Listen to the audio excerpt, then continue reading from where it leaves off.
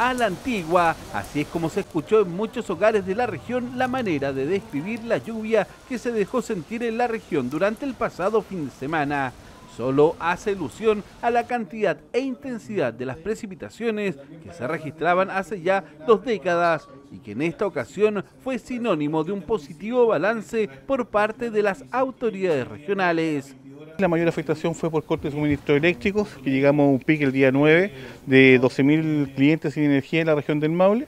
Eh, se están tomando por parte de la delegación regional presidencial algunas medidas con respecto a eso.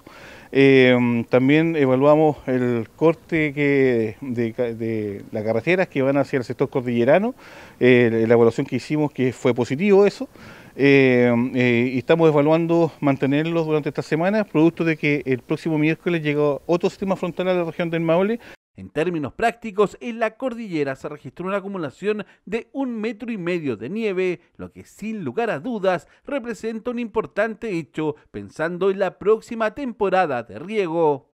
Hoy día sabemos que se viene un nuevo frente de mal tiempo a partir del día miércoles, martes de la noche tal vez, eh, y queremos enfrentarlo también con, con, ese resguardo, con esa preocupación y esa coordinación previa. Es por eso que nos hemos reunido hoy día con carabineros, con vialidad, con eh, ONEMI para también establecer ciertos criterios que nos permitan tal vez eh, volver a dictar estas resoluciones que cerraron los caminos hacia la alta cordillera.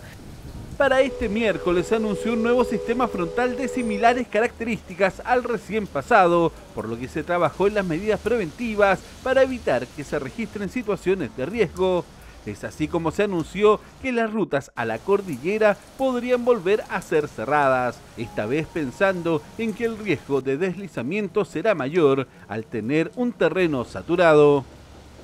Agradecer la buena acogida y el entendimiento que tuvo las personas que iban con la familia en un día de, de tour a la cordillera y se les explicaba que por razones de seguridad no podían subir